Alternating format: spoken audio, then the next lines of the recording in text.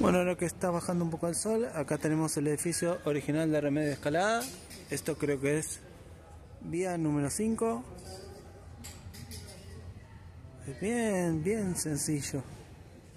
Es edificio de estación típico del ferrocarril del sur. Esa de allá es, es parte hacia el lado de Banfield, donde maniobran los trenes de larga distancia. Creo que de ese lado no tiene salida. La vía sí tiene para Plaza Constitución. Loma de Zamora tiene un edificio más grande de 1925. Si me acompañan, entonces acá vamos a ascender al andén número 4. Allá está entonces el edificio de los talleres Escalada. Este es el andén número 4 vista hacia Banfield, que es la próxima estación.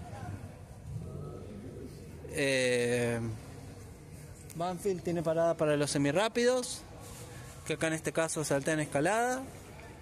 Acá tenemos la vista hacia el de los coches chinos.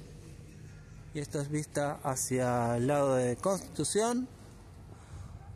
Allá la próxima estación es Lanús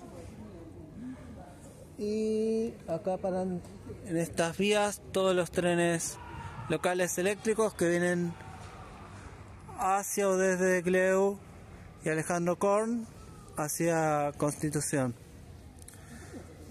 Eh, entonces ahí tenemos parte de los talleres escalada, una parte lo pudimos ver hoy desde el tren, pero como le decía, este taller es enorme, tiene taller de máquinas, taller de vagones, etcétera, etcétera. Y es importante para el ferrocarril Roca, Sarmiento, Mitre, etcétera.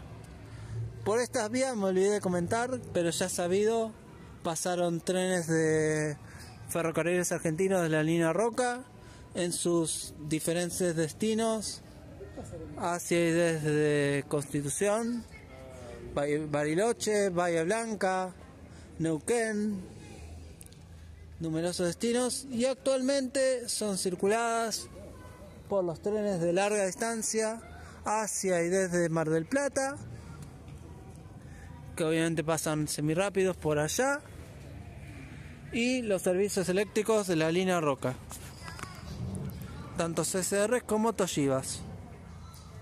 Yo que está viniendo un tren con destino a Plaza Constitución, parando en todas una unidad CCR.